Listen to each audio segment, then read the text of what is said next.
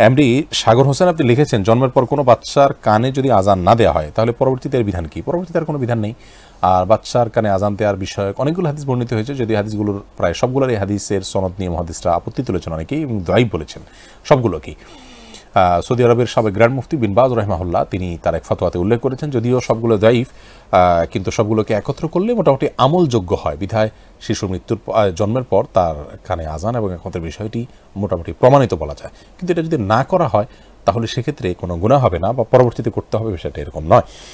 ইমরান হোসেন, আপনি লিখেছেন নামাজে প্রথম রাকাতের তুলনায় দ্বিতীয় রাকাত বড় কেরাত পড়া যাবে কি?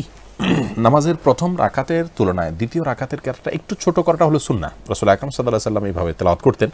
ধরুন প্রথম রাকাতে আপনি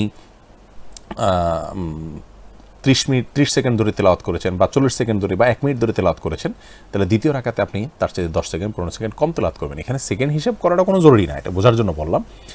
প্রথম রাকাতে আপনি এক পৃষ্ঠা তেলাওয়াত করেছেন, তাহলে দ্বিতীয় রাকাতে এক পৃষ্ঠা একটু কম তেলাওয়াত করবেন। এটা হলো সুন্না কেউ যদি দ্বিতীয় রাকাতে একটু বেশি করে ফেলেন, তাহলে এটা সুন্নাতের বিপরীত হলো। সুন্নাতের বিপরীত করার মধ্যে কোনো কল্যাণ নেই।